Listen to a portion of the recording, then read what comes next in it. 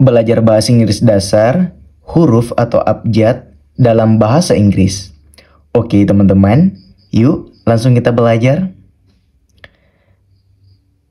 A B C D E F G H I J K L M N O P Q R.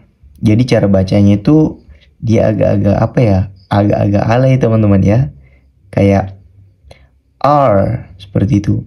R S T U V W X Y Z atau Z. Oke, kita ulang sekali lagi ya.